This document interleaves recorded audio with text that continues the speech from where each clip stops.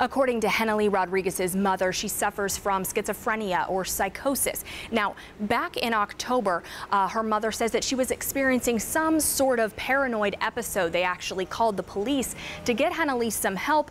During that encounter with police, her mother says Henely actually bit the police officer. Now, this, of course, caused officers to arrest her, take her in, and charge her with a felony. Now, a Hays County judge did drop that felony charge to a misdemeanor, but here's the issue issue.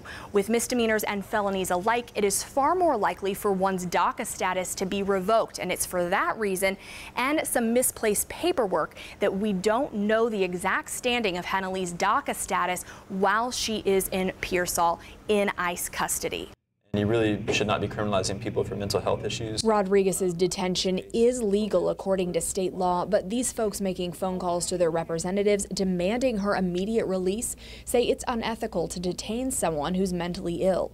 On their side is Representative Lloyd Doggett, who released a statement that reads in part, quote, I do not believe that ICE is equipped to provide her the mental health treatment which she requires, and deporting her will certainly not help her get any treatment.